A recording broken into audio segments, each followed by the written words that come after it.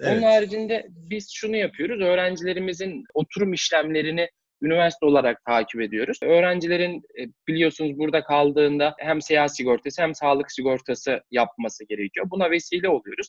Yani öğrencinin eğitim öğretim hayatında karşısına çıkabilecek bütün sorunlarla ilgili danışmanlık işlemlerinin hepsini yapıyoruz. E, aynı zamanda oturumdaki evrakları biliyorsunuz tamamını biz ulaştırıyoruz. Oturumlarını alıyoruz ve öğrencimize oturumlarını teslim ediyoruz.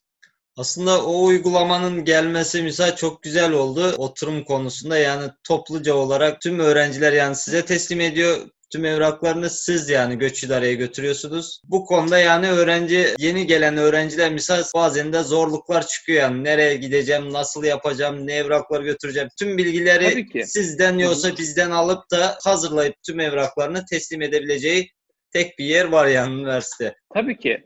Atan Murat Bey bununla ilgili biz çok ciddi çalışmalar yürütüyoruz. Çünkü evet. biliyorsunuz ki bu bir sektör. Artık yani uluslararası öğrencilerin Türkiye'ye getirilmesi bir sektör.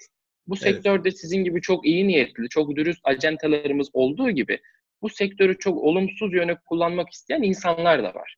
Dolayısıyla evet. burada öğrenci mağduriyeti yaşansın istemiyoruz. Bize bu şekilde düşüncelerimizi ifade etme platformu oluşturduğunuz için size ayrıca teşekkür ediyorum. O konuya da değinmeden evet. geçemeyeceğim. Şimdi şöyle değerlendirin. Öğrenciler bu yayınları iyi takip etsinler. Bizim güvenilir acentalarımızla faaliyetlerini iyi devam ettirsinler. Çünkü evet. sebep şu. Biliyorsunuz ki üniversiteler zaten zorunlu halde öğrencinin ikamet ve oturum işlemlerini takip etmek zorunda. Yani başvuruyu biz yapacağız. Evraklarını biz götüreceğiz. Öğrenci evraklarını sadece tamamlayıp üniversiteye getirecek ve bununla ilgili hiçbir şart altında üniversiteye danışmanlık ücreti ya da ekstra bir ücret ödemeyecek. Evet, evet. Ama maalesef Öğrenci bu süreçten haberdar olmadığı için işte konaklama için çok ciddi ücretler ödeyebiliyor. ikamet için çok ciddi işlemler ödeyebiliyor. Burada sizin nezdinizde ben öğrencilerimize sesleniyorum. Arkadaşlar lütfen bütün faaliyetlerinizi güvendiğiniz acentanızla ve üniversitenizle birlikte yürütün. Yani Türkiye'ye geldiğinde üçüncü bir şahısla işlemlerinizi yürütmeyin. Gelin üniversiteye. Bizim uluslararası ofisimiz her daim öğrencilerimizi ağırlıyor. Her daim evet. öğrencilerimizi misafir edebiliyor.